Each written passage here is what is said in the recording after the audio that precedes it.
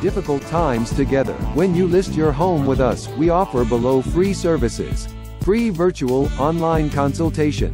Free virtual staging. We pay conveyancing fee. We pay move out cleaning fee. Call us 604-868-9920 by April 15. 大家晚上好，我是陆建，交大生路，大温哥华地区前百分之一顶级房产经纪， 专注于民用房产的买卖及工业仓储类地产投资。首先在这里祝贺“爱在温哥华 ”2021 金牌主播大赛在温哥华地区赛事圆满成功，也在这个机会感谢主办方能够提供这样的平台，传播中华传统文化，并帮助弱势群体，支持自闭症儿童。我也很感谢能够参与其中。尽自己的一份微薄之力，谢谢大家。尊敬的中国北京、加拿大温哥华评委老师、各位嘉宾、家长、各位参赛选手，大家晚上好！感谢大家出席今天由家中文化教育交流协会、温哥华国际舞蹈艺术学院联合承办的“爱在温哥华 ”2021 金牌主播大赛。加拿大温哥华赛区总决赛活动，今年金牌主播大赛加拿大温哥华赛区赛事，同时开启了“爱在温哥华”慈善公益系列活动。我们将向加拿大 ICT 自闭症协会捐款，向自闭症群体献一份爱心。每一位参加活动的选手，同时也付出了您的一份爱心。今后每年我们都会举办这样的活动，希望社会各界人士能对这一特殊群体给予更多的关注。金牌主播大赛落户加拿大温哥华已经第三个年头，感谢一直以来积极参与活动的各界人士、机构和历届的评委老师，感谢赞助商的大力支持，特别感谢。温哥华国际舞蹈艺术学院为本次大赛提供的场地，感恩各位评委、嘉宾、家长和老师们的宝贵时间。最后，希望今天的大赛一切顺利，选手们能赛出好的成绩。谢谢大家。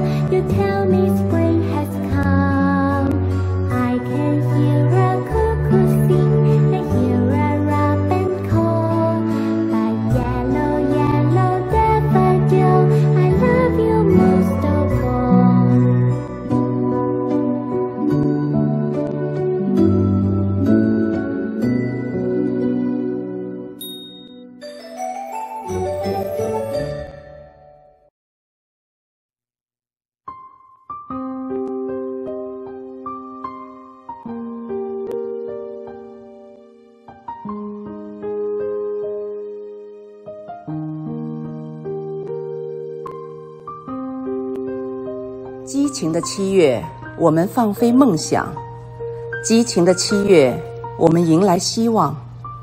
让温暖的阳光催开新的花蕾，让美好的憧憬谱写新的乐章。让我们紧紧抓住时光的翅膀，等待，等待下一次更高的飞翔。各位来宾，现场及屏幕前的观众朋友们，大家晚上好。您现在收看的是由北京青少年美育文化发展中心金牌主播播音主持选拔组委会主办，家中教育交流协会与温哥华国际舞蹈艺术学院联合承办的“爱在温哥华 ”2021 金牌主播主持人大赛加拿大温哥华的比赛现场，我是今晚的主持人月莹。本次大赛也是家中文化教育交流协会慈善公益系列活动之一。爱在温哥华，让更多的人关注弱势群体。同时，比赛部分收益捐赠加拿大 ACT 自闭症社区训练协会。为了挖掘和培养有潜质并具有综合素质的青少年主持后备力量，由国家级众多行业内专家及著名主持人发起此次大赛。让生活在海外以第一语言为英文的华人后代有更多的机会提高及运用他们的母语。大赛秉承权威性、专业性、公正平等的原则，为生活在海外的儿童、青少年及青年对主持感兴趣的选手提供专业的舞台，并有更好的发展空间。能够顺利举办此次大赛，离不开众多朋友、商家及媒体的大力支持。感谢本次大赛赞助商龙源教育集团、陆建房产、加拿大嘉兴中学、加拿大嘉兴美术设计学院、知名国际教育、非凡教育、真主丹等。另外，特别感谢 Richmond 市长马保定为大赛发来贺函。我在这里代表温哥华组委会向大家表示衷心的感谢，谢谢大家。今晚我们荣幸地邀请到六位专家评委：张浩，来自中国北京，中国中央广播电视总台上海站直播编辑，中国传媒大学硕士研究生，从事多年中央电视台总编辑节目播出部工作；陈东义，来自中国北京，原中央电视台法制频道记者、编导，普通话一级甲等；Aggie。来自加拿大温哥华，UBC 教育硕士，SFU 口译翻译证书，加拿大嘉兴中学教育顾问、大学规划导师。李爱英来自加拿大温哥华，加拿大城市电视台记者、作家、教师。任金生来自加拿大温哥华，加拿大华裔作家协会副会长。北美中文作家协会永久会员，文学作家、教育专家。我本人也非常荣幸以温哥华赛区评委的身份站在这里与大家见面。大家请看我的基本介绍。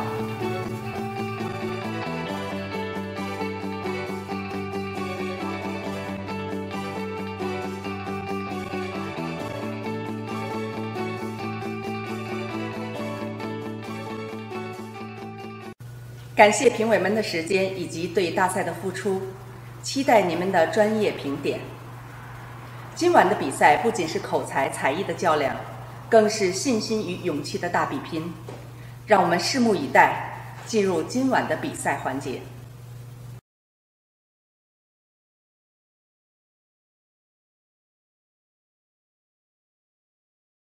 各位评委老师，大家好，我叫于欣子。今年六岁了，目前居住在加拿大温哥华，在 Maple Grove 读一年级。平时我喜欢读书、画画和弹钢琴，也在坚持学习中文。我最大的愿望就是等疫情结束后，让妈妈带我去法国巴黎，看一看著名的埃菲尔铁塔。今天我为大家朗诵一篇文章，文章的名字是。荷叶圆圆，荷叶圆圆的，绿绿的。小水珠说：“荷叶是我的摇篮。”小水珠躺在荷叶上，眨着亮晶晶的眼睛。小蜻蜓说：“荷叶是我的停机坪。”小蜻蜓立在荷叶上，展开透明的翅膀。小青蛙说：“荷叶是我的歌台。”小青蛙蹲在荷叶上。呱呱地放声歌唱，小鱼儿说：“荷叶是我的凉伞。”小鱼儿在荷叶下笑嘻嘻地游来游去，捧起一朵朵很美很美的水花。谢谢评委老师。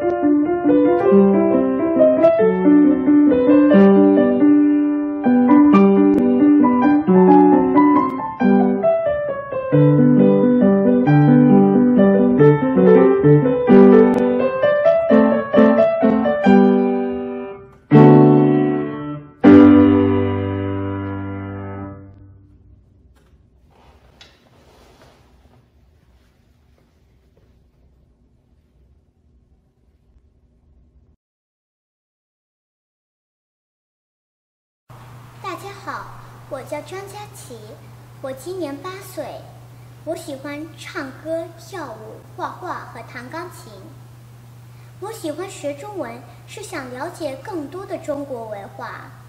去年我学跳中国舞，以后我想学画国画和写毛笔字。今天我给大家讲个小故事，叫《手捧空花盆的孩子》。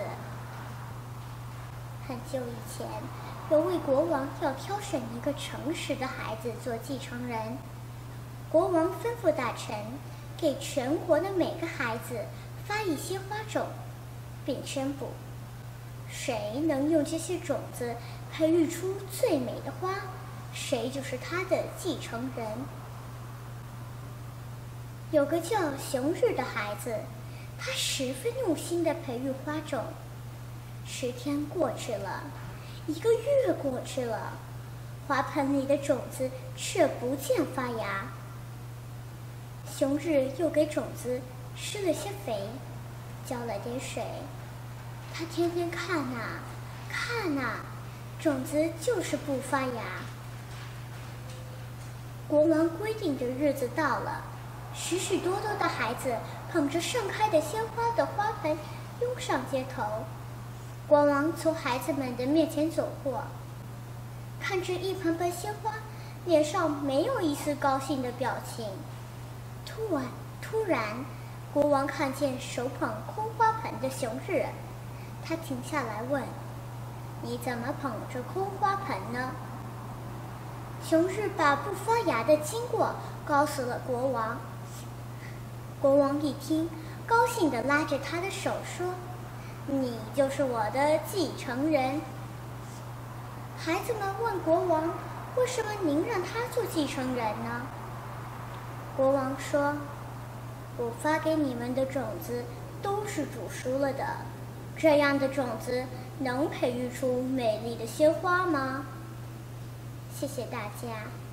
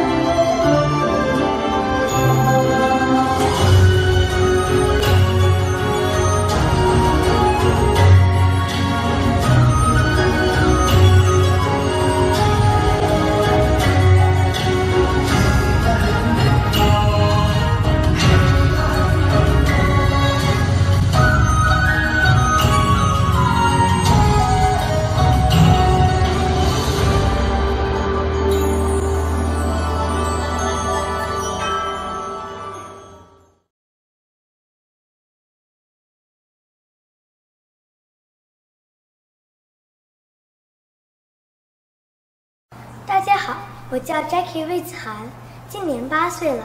我是一个活力四射的男孩，我喜欢唱歌、街舞、打鼓、滑雪。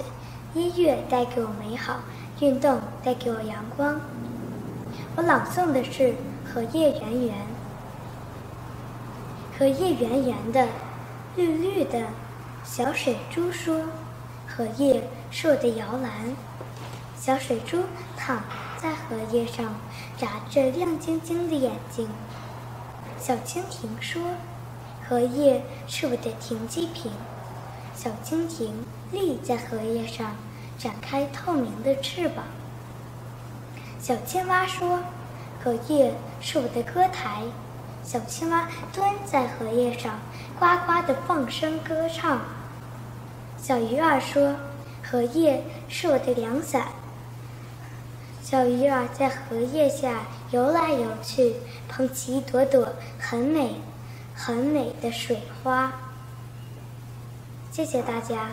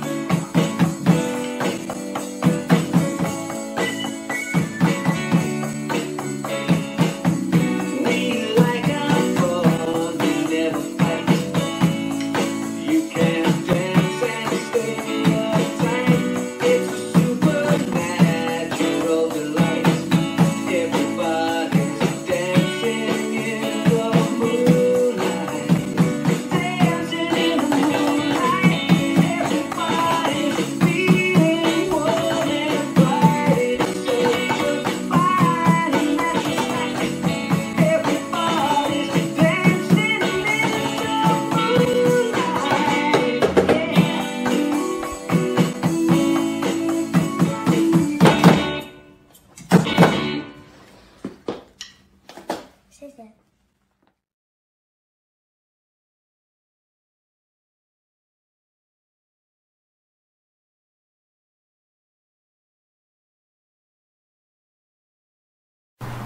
家好，我叫岳美珍，今年九岁了，我来自温哥华。我喜爱钢琴、游泳、画画，我还学了四年的中国民族舞蹈，参加了很多的演出。我性格安静内向，妈妈告诉我女孩子要学会保护自己，于是我开始学习跆拳道，并爱上这项运动。我尝到了挑战的乐趣。我虽然没有读过中文学校，但我也参加这次比赛，就是要挑战自己。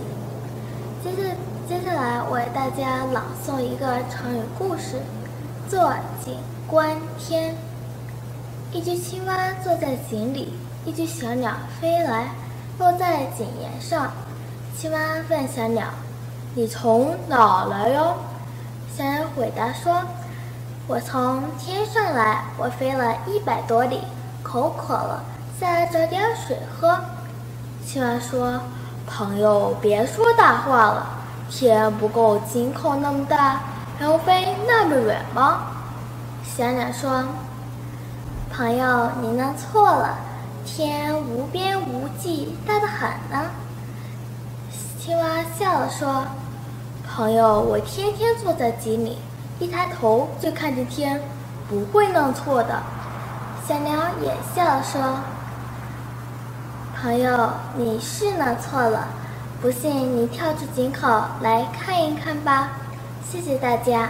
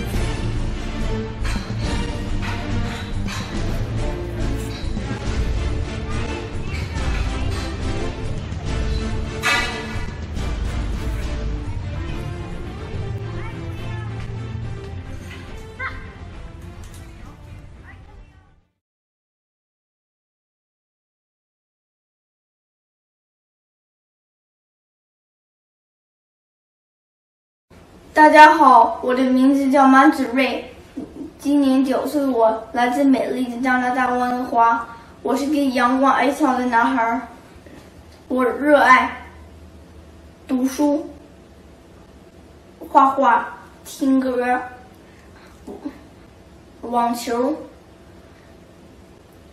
读书让我更加聪明，听歌给我带来快乐，运动让我更加强壮。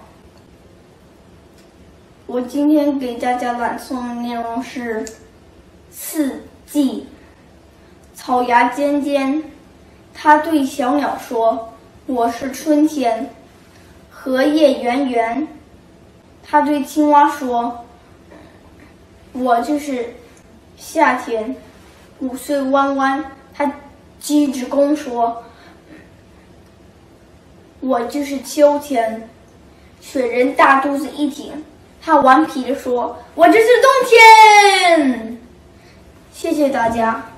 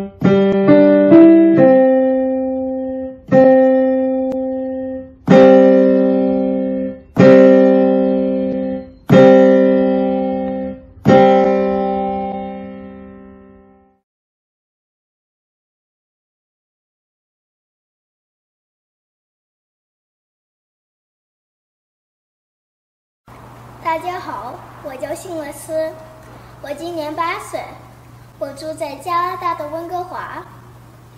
我有许多爱好，像打网球、朗诵课文和弹钢琴。但是我最喜欢的是花样滑冰，因为我可以滑得特别快，像小鸟飞起来一样。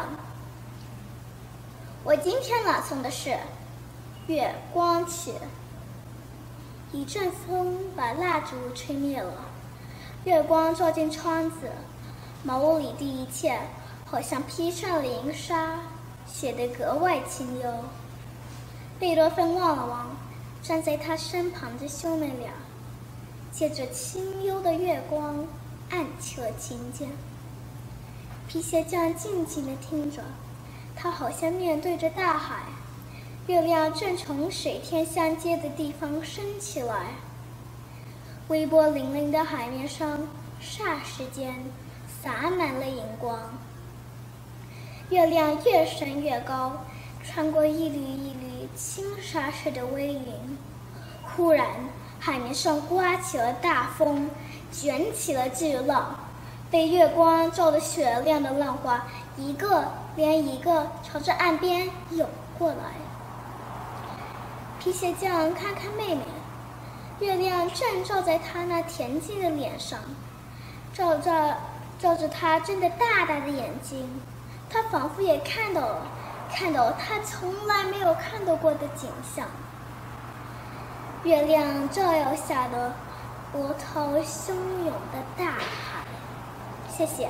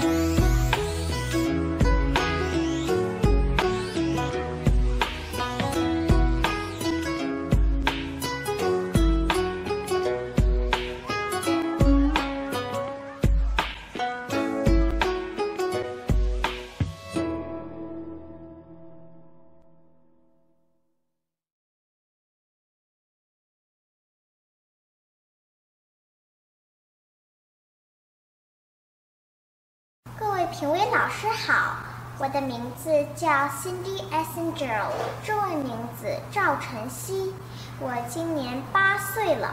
我目前在加拿大温哥华双语学校上学。我的爱好是弹钢琴、唱歌、画画和跳舞。我喜欢学中文，喜欢中国的传统文化。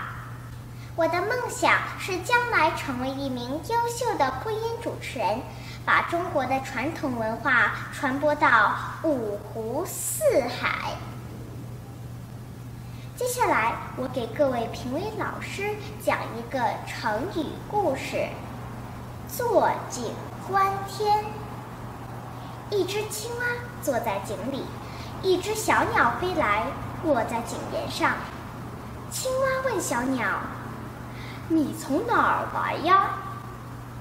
小鸟回答说：“我从天上来，飞了一百多里，口渴了，下来找点水喝。”青蛙说：“朋友，别说大话了，天不过井口那么大，还用飞那么远吗？”小鸟说：“你弄错了。”天无边无际，大得很呢。青蛙笑着说：“朋友，我天天坐在井里，一抬头就看见天，我不会弄错的。”小鸟也笑了，说：“朋友，你是弄错了，不信你跳出井口来看看吧。”谢谢各位评委老师。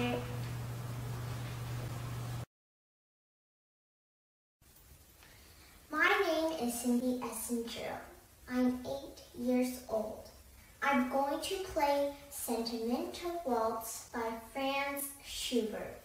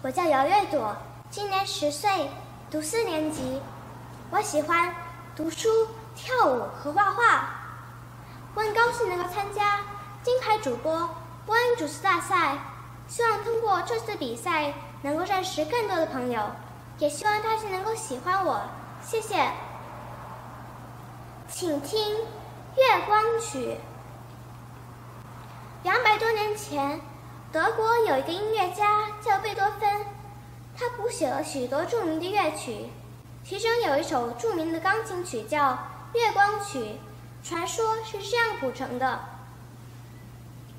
有一年秋天，贝多芬在各地旅行演出，来到莱茵河边的一个小镇上。一天夜晚，他在小路上散步，听到断断续续的钢琴声从一所茅屋里传出来，弹的正是他的曲子。贝多芬走进茅屋，琴声忽然停了，屋子里有人在谈话。一个姑娘说：“这首曲子多难弹啊！我只听别人弹过几遍，总是记不住该怎么弹。”一个男的说：“是啊。”可是音乐会的入场券太贵了，咱们又太穷。贝多芬听到这里，推开门走了进去。屋子里点着一根蜡烛，在微弱的烛光下，男的正在做皮鞋。窗前架着一个旧钢琴，前面坐着一个十六七岁的姑娘，脸很清秀，可是眼睛失明了。皮鞋匠看见进来的陌生人，站起来问：“先生，您找谁？走错门了吧？”贝多芬说：“不，我是来弹一首曲子给这位姑娘听的。”姑娘连忙站起来让座。贝多芬坐在钢琴前面，弹起了盲姑娘刚才弹的那首曲子。盲姑娘听得入了神。一首弹完，贝多芬说：“您爱听吗？我爱听，我再给你弹一首吧。”谢谢大家。请听绕口令打枣。出东门过大桥，大桥底下一树枣，拿着杆子去打枣，青的多，红的少。一个枣，两个枣，三个枣，四个枣，五个枣，六个枣，七个枣，八个枣，九个枣，十个枣。十个枣，九个枣，八个枣，七个枣，六个枣，五个枣，四个枣，三个枣，两个枣，一个枣。这是一段绕口令，一口气说完才算好。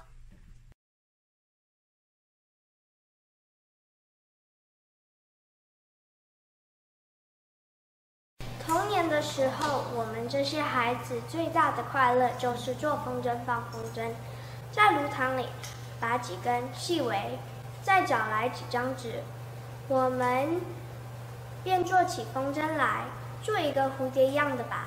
我们用心做着，心中充满了憧憬和希望，却什么也不像了。我们还把我们的名字写在上面。把它叫做幸福鸟。我们从早上玩到下午，我们停不下来，牵着风筝在田里跑着，风筝飞上了天空。忽然一阵风，线断了。风筝飞的没了踪影，我们哭了，到处找，久久没有踪影，我们难过了，坐在田埂上，一抬头看见远远的水面上，半浮着一个。巨大的木轮不停转着羊的水，我想，说不定幸福鸟就在那边。我和大家说：“去水魔法吧，幸福鸟就在那边等着大家。”大家好，我今天要念一个英文的朗诵。它是英文的，还有它英文名字叫 Promises。For all the tears that roll up the cheek, the broken promises I meant to keep. For mighty thunders that rise up the ground, and endless ocean still in land bound. My heart dwells in echoes of past, for present times they do not last. For even great men and in the catabomb. I wish I was born in a cassock and would die in a womb. 那是我的英文朗诵，谢谢大家。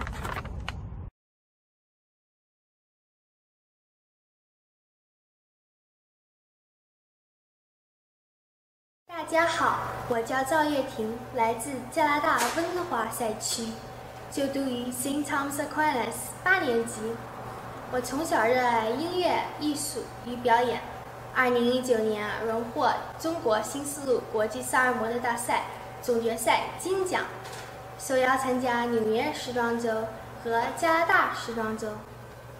我今天朗读的是《坐井观天》。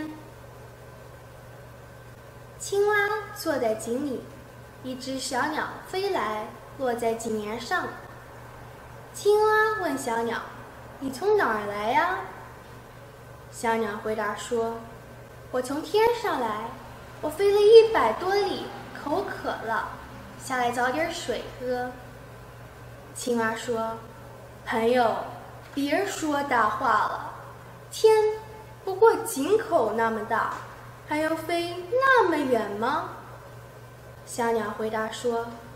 朋友，你弄错了，天无边无际，大得很呢。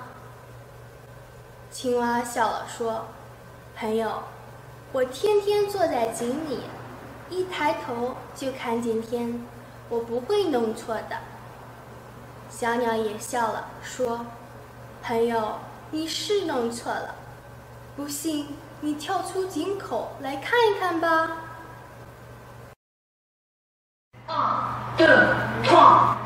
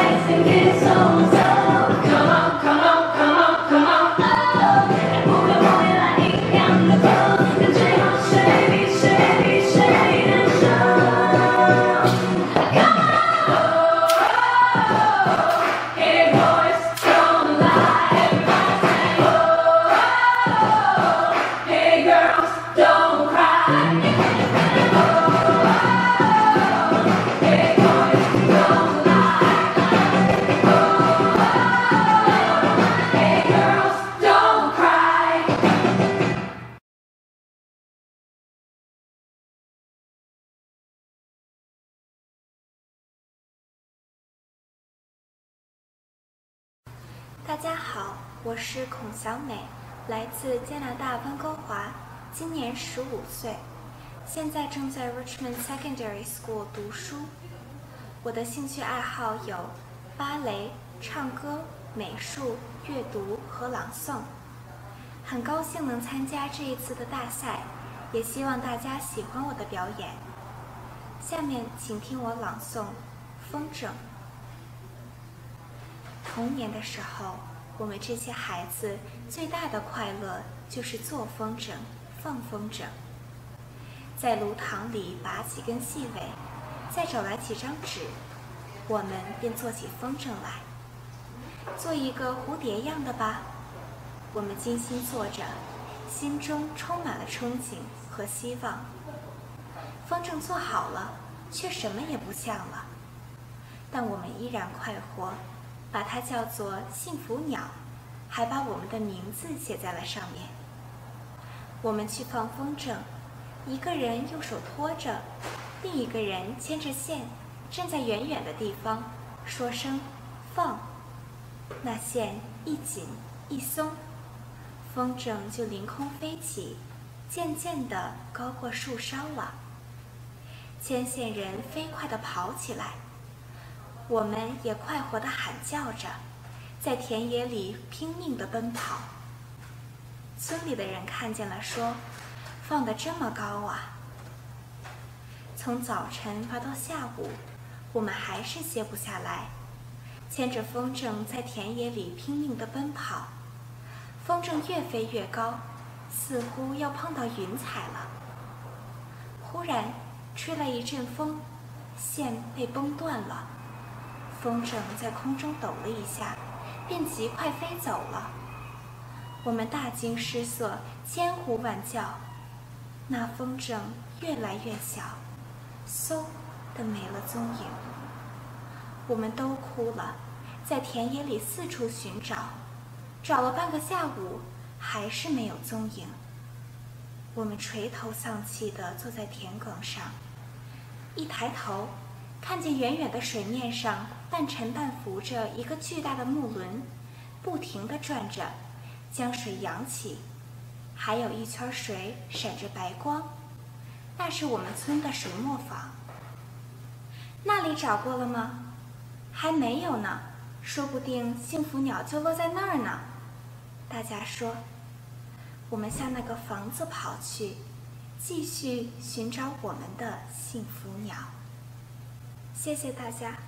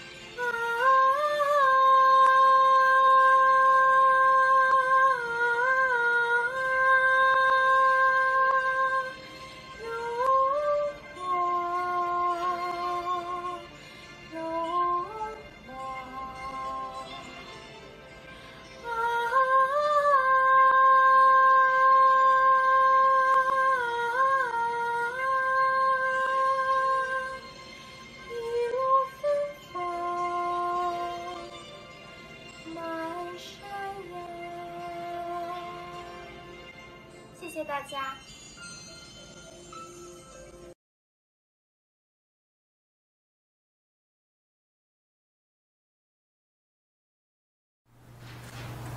今天我给大家朗诵《桂林山水》。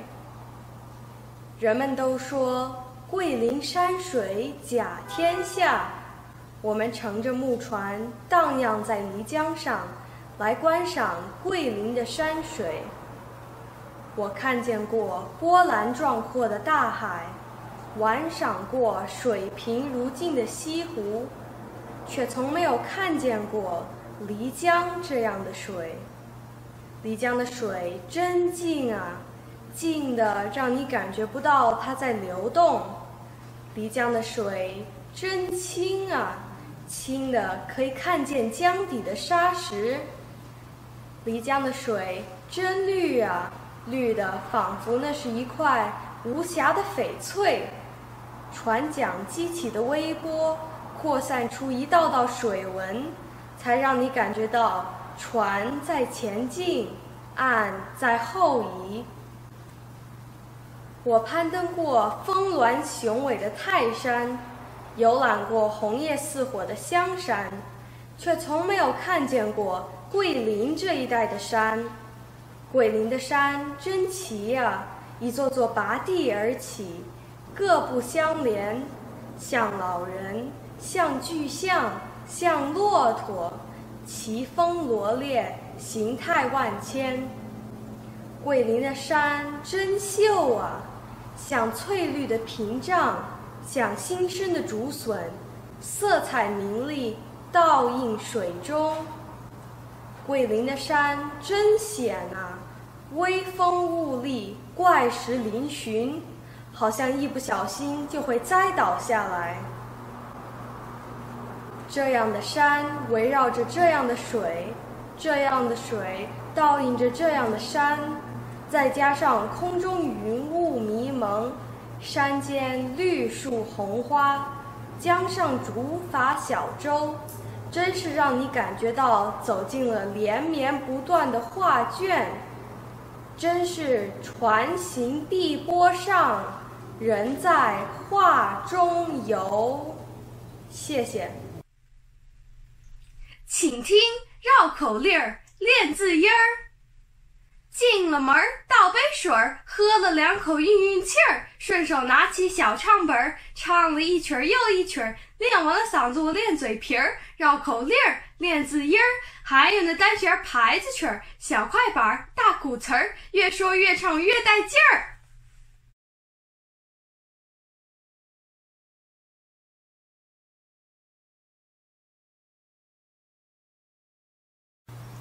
大家好，我叫李林生，但很多人也会直接叫我林生。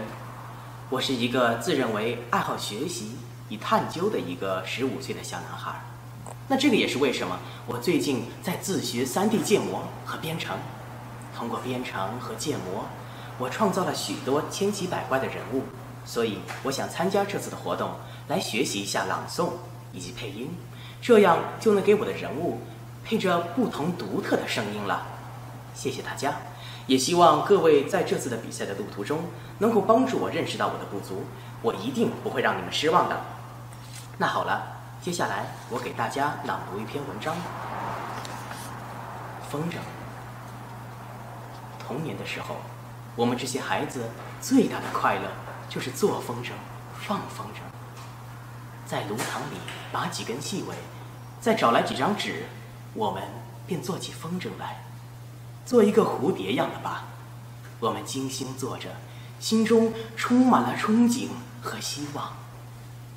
风筝做好了，却什么也不像了。我们依然快活，把它叫做幸福鸟，还把我们的名字写在上面。我们去放风筝，一个人用手托着，另一个人牵着线，站在远远的地方说声“放”。那线一紧一松，风筝就凌空飞起，渐渐高过树梢了。牵线人飞快地跑起来，风筝越飞越高，在空中翩翩飞舞着。我们快活地喊叫着，在田野里拼命地奔跑。村里的人看见了，说：“放得这么高啊！”从早晨玩到下午，我们还是歇不下来。牵着风筝在田野里奔跑，风筝越飞越高，似乎飞到云彩上。忽然吹来一阵风，线绷得断了，风筝在空中抖动了一下，便极快地飞走了。我们大惊失色，千呼万唤，那风筝越来越小，嗖的便没了踪影。我们都哭了，在田野里四处寻找，找了半个下午。还是没有踪影。我们垂头丧气地坐在田埂上，一抬头，看见远远的水面上半沉半浮着一个巨大的木轮，不停地转着，将水扬起来，半圈水在闪着白光。那是我们村的水磨坊。那儿找过了吗？没找过，说不定幸福鸟就落在那儿了。大家说，我们向那房子跑去，继续寻找着我们的幸福鸟。谢谢大家。接下来我给大家表演一个绕口令：十八愁。数九寒天冷风嗖，转年是春打六九头。正月十五是龙灯会，有一对狮子滚绣球。三月三，王母娘娘的蟠桃会，大闹天宫，孙猴又把那个仙桃偷。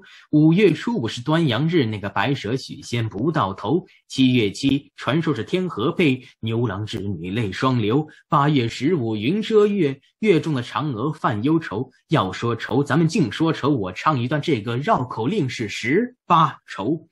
说虎也愁，狼也愁，象也愁，来路也愁，骡子也愁，马也愁，猪愁，狗愁，牛愁，羊愁，鸭子也愁，鹅也愁，蛤蟆也愁，螃蟹愁，蛤蜊也愁，乌龟愁，鱼愁，虾愁，各有根由。虎愁不敢把这高山下，那个狼愁野性耍滑头，象愁脸憨皮又厚，那个鹿愁脑袋七叉八叉长犄角，马愁悲哀行千里，骡子愁他是一世休，羊愁从小把胡子长，那个牛愁愁的犯牛轴，狗愁改不了那净吃屎，猪愁离不开那臭水沟，鸭子愁的扁了个嘴，鹅愁脑袋长了一个大奔头。蛤蟆愁的长了一身脓疱疥，螃蟹愁的进横楼，蛤蜊愁闭关自守，乌龟愁的是不敢出头，鱼愁离水不能走，虾愁空腔乱扎没准头。好的，谢谢大家。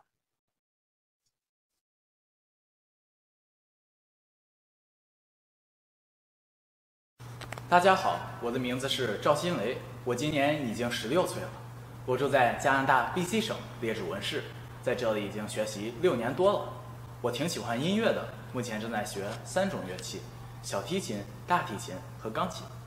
我没有什么特殊的，并没有什么值得炫耀的奖状或成就。我们就来说说我的名字吧。我的名字还是挺有趣的。我出生的那一天晚上，电闪雷鸣，瓢泼大雨。我的父亲就为我起了一个名字，打算把我叫做赵雷。可是我的母亲却觉得赵雷这个名字实在是太常见、太普通了，她就灵机一动，对我父亲说：“这孩子未来会长成一个有梦想、有成就，并且值得欣赏的人。”当然了，我现在几乎没有达到任何他当时所想象未来的我会达到的目标。最终，他们两人决定给刚出生的我一个特殊的名字，把我叫赵新雷。我今天会认真为大家朗诵《北方的雪》。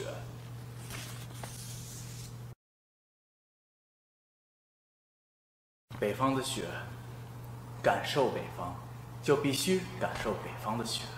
北方的雪有着漫长的情怀，那是随着漫长的冬季编织出来了一曲风雪之歌。当雪花飞舞的时候，一个守望的季节。一个积攒能量的季节就会到来。当雪融化于水，水结为冰，然后雪花再次光临山野的时候，北方的大地便开始了漫长的冬眠旅行。有雪的日子里，空气格外透明，呼吸顺畅透彻，就连声音也异常的空旷而辽远。雪的到来使城市冲洗了一下灵魂，使乡村湿润了一下皮肤，使山野增添了几许灵性。收获的盼望挂满庄稼人的窗前，那围坐着的火热拥抱着冰冻的江河，那匆忙的赶路人又一次挽起了雪夜的手臂。雪覆盖了秋天的最后一片落叶，雪。白皑的铺满了一条通向春天的路。窗外雪花漫舞，飘飘洒洒。屋内蛰居的丝丝温暖，正感受着北方的一片深情。朋友，温一壶烈酒如何？是汉子的就坐下来，煮酒论个天地英雄；是壮士的就敞开胸膛，把凛冽的风、行走的雪装进整个北方，如北方的雪一样壮观豪情，来的从容大气，来的风沙不再翻卷，视野不再苍茫。这就是北方啊，这是动感的北方，粗犷的北方，更是野性的北方。北方的雪飘了一年又一年，北方的心情好了一年又一年。朋友，今年冬季你那里下雪了吗？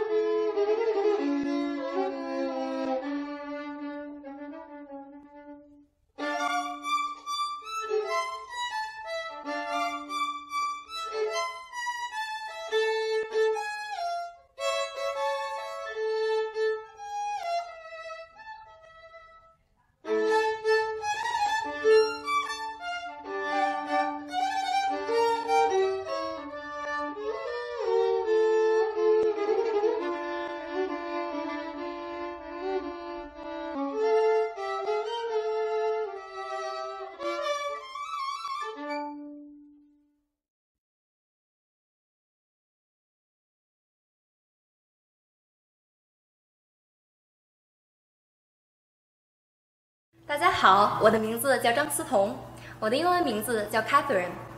我最近刚从 UBC 毕业，我主修的是心理学。但是大家放心，我不会读心术，不知道大家都在想什么。我平时业余爱好很广泛，我喜欢唱歌，喜欢跳舞，喜欢滑雪，也喜欢参加公益活动。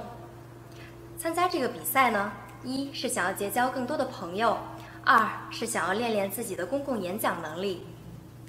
接下来我要演讲的是北方的雪。要感受北方，就必须感受北方的雪。北方的雪有着漫长的情怀，那是随着漫长冬季编织出的一曲风雪之歌。当雪花飞舞的时候，一个盼望的季节，一个积攒能量的季节就会到来。当雪融化为水，水结为冰。然后雪花再次光临山野的时候，北方的大地便开始了漫长的冬眠旅行。有雪的日子里，空气格外透明，呼吸顺畅透彻，就连声音也变得空旷而辽远。雪的到来使城市冲洗了一下灵魂，使乡村湿润了一下皮肤，使山野增添了几许灵性。仿佛又看到那跳动着的童真在雪中漫舞，那收获的盼望挂满庄稼人的窗前，那围坐着的火热拥抱着冰冻的江河，那匆忙的赶路人又一次挽起了雪夜的手臂。雪覆盖了秋天最后一片落叶，雪白皑皑的铺满了一条通往春天的路。窗外雪花漫步，飘飘洒洒；屋内蛰居的丝丝温暖，正感受着北方的一片深情。朋友，温一壶烈酒如何？是汉子的就坐下来煮酒论个天地英雄；是壮士的就敞开胸膛，将行走的风、凛冽的雪装进整个北方，如北方的雪一样来的壮观豪情，来的风沙不再翻卷，视野不再苍茫。谢谢大家。大家好，我是温哥华的选手张思彤。我接下来要为大家表演的是阿黛尔的《When We Were Young》。Everybody loves the things you do, from the way you talk to the way you move. Everybody is watching you, cause you feel like home, you like a dream come true. But if by chance you hear alone, can I have a moment before I go? Cause I've been by myself all night long, hoping you're someone I used to know. You look like a movie, you sound like a song. My kindness reminds me of when we were young. Let me photograph you in this light in case this is the last time that we met. Exactly like we were before we realized we were sad of getting old. It made us rest place. You were just like a movie. You was just like a song when we were young.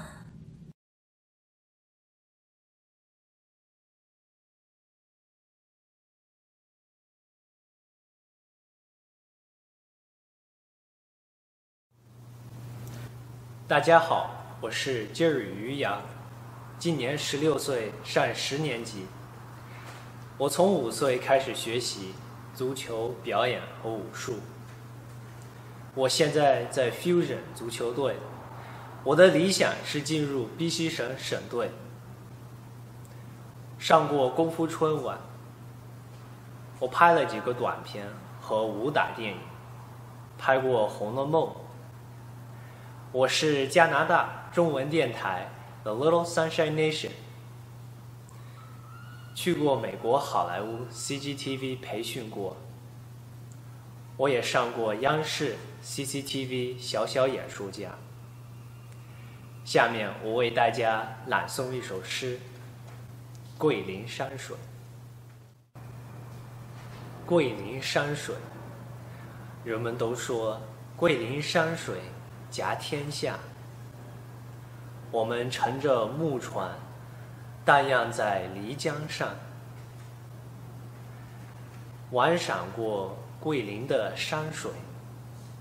我看见过波澜壮阔的大海，玩赏过水平如镜的西湖，却从没有见过丽江这样的水。丽江的水真静呀，静的让你感觉不到它在流动。丽江的水真清呀，清的可以看见江底的沙石。丽江的水真绿呀，绿的仿佛那是一块无瑕的翡翠。谢谢。下面我为大家表演一段武术。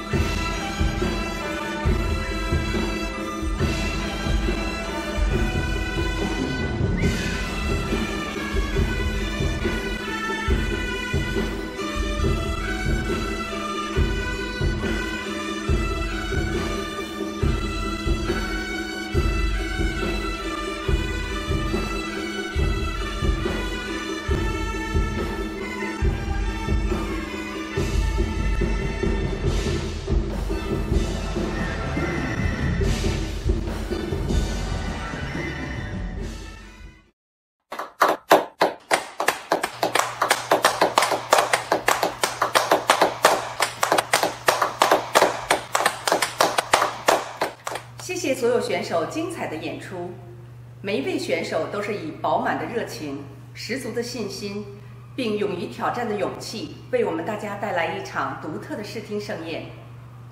在评委们紧张的评分环节，先让我们来轻松一下，请大家欣赏温哥华国际舞蹈艺术学院青年舞蹈团为大家带来的一段蒙古族集体舞，请大家欣赏。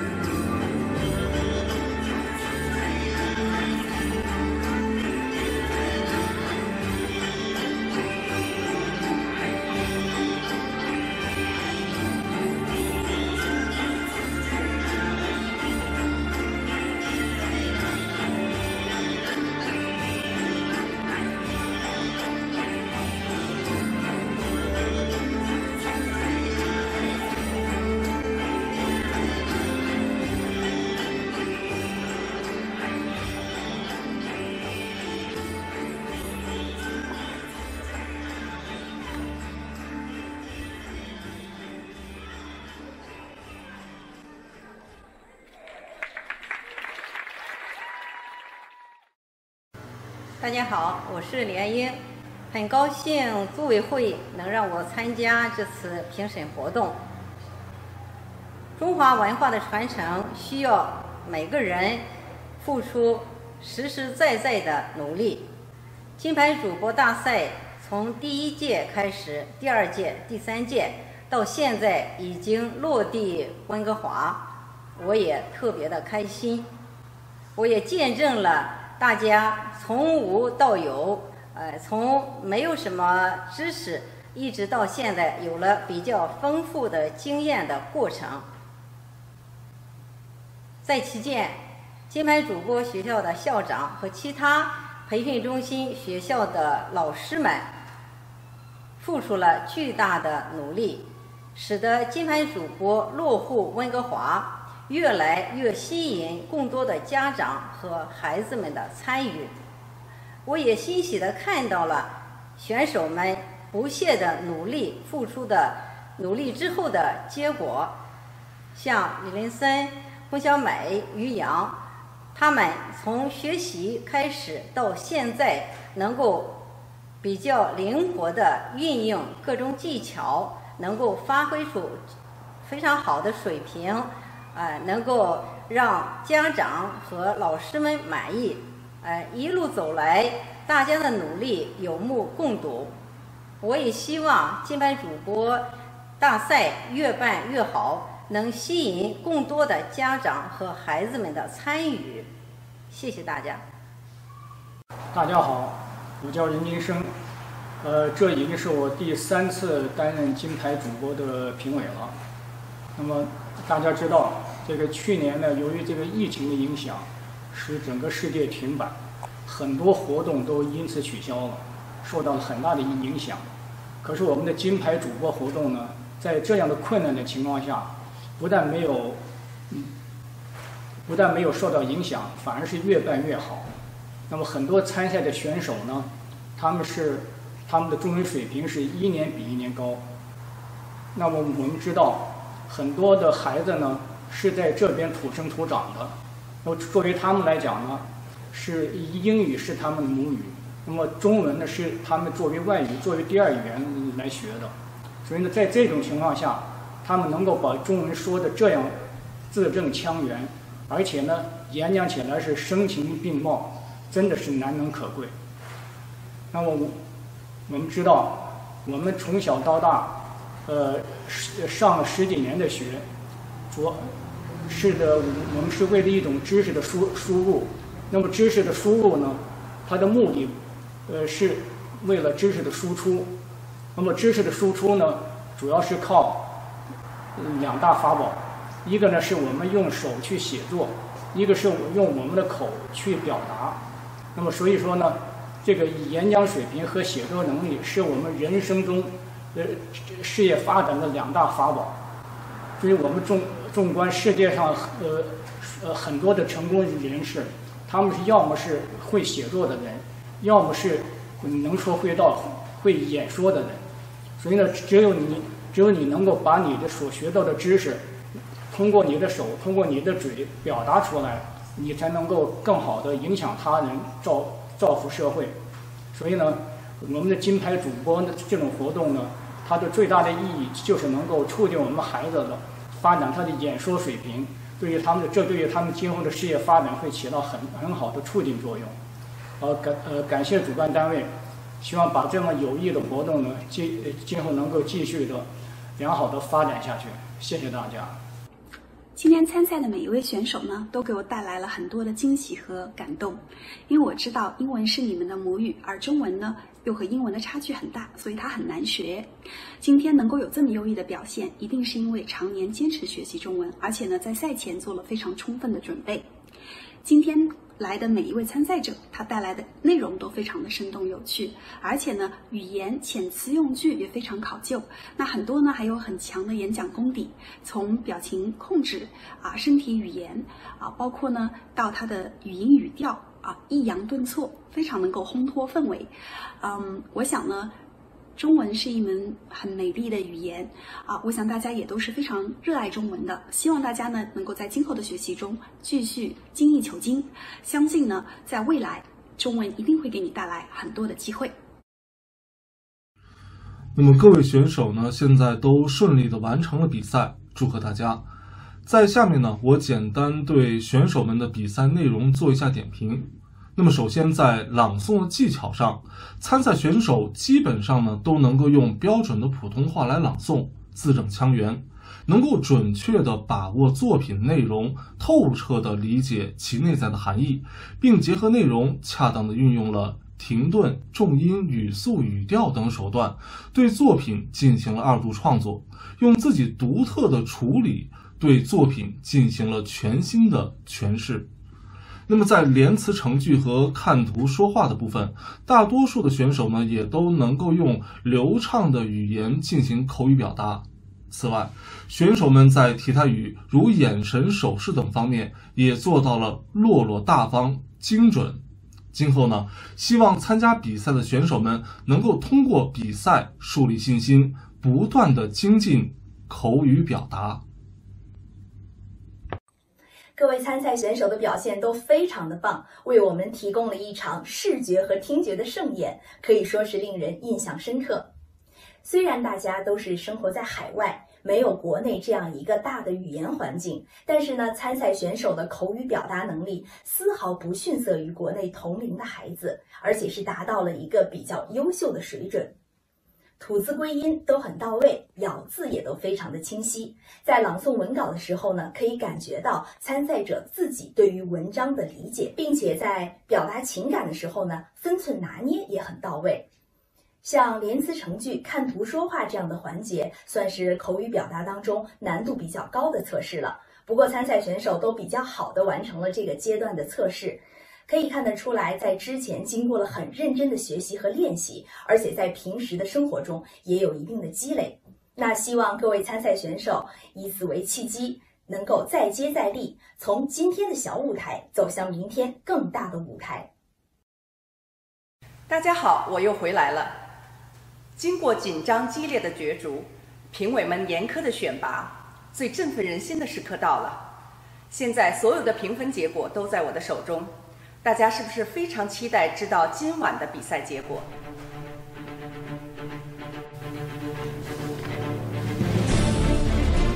少儿 A 组铜奖获得者于心子，银奖魏子涵，金奖获得者张佳琪。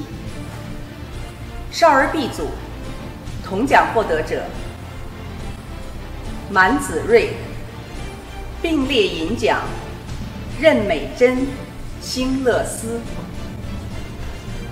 金奖获得者：赵晨曦。青少年 A 组铜奖获得者：刘长浩。银奖：姚月朵。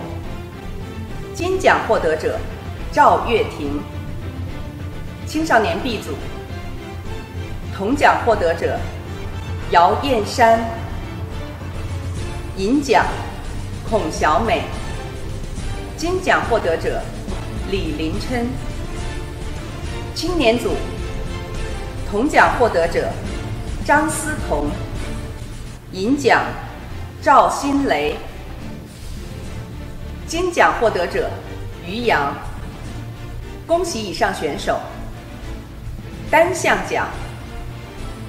最具潜质奖，于心子；最佳勇气奖，刘长浩；最佳中文表达奖，孔小美；最佳才艺奖，赵新雷；最佳台风奖，张思彤；最佳技能奖，辛乐思；最佳形象奖，满子睿。本次大赛还特别设立了金话筒奖。少儿组金话筒奖魏子涵，青少年组姚燕山，青年组张思彤。恭喜以上所有获奖选手，衷心的祝福他们。挑战无处不在，今晚的舞台是金牌主播主持人大赛的终点。但同时也是我们每一位选手梦想的起点。就让我们将所有的赤诚、智慧与勤奋重新集结，再去创建更加辉煌的未来。爱在温哥华，二零二一金牌主播主持人大赛圆满结束，朋友们再见。